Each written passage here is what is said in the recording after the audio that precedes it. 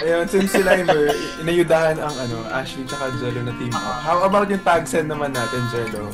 Kamusta Tag. sila? Oo, John Bell. Ay, Ano ba? ano ganun siya? Wait lang. Patay kwento muna bago pilit.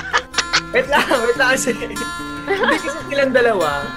Nung una talaga, sobrang syempre, bagong magkakilala, ganyan. Medyo may ilangan pa. Pero, as time goes by, parang ano eh, magugulat na lang kami, magugulat kayo, biglang nag-uusap. Tapos, madalas sila mag, ano, mag, mag-asaran, ganyan.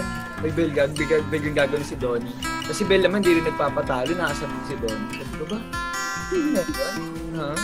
Ha? Oo, may sarili silang mundo. Di ba, Jello? Oh my God! Pag nag-aasara na sila, tatahimik na kaming lahat kasi. Parang nagkakayaan na lang tayo pansinin, no? Kung ano bang ginagawa nila.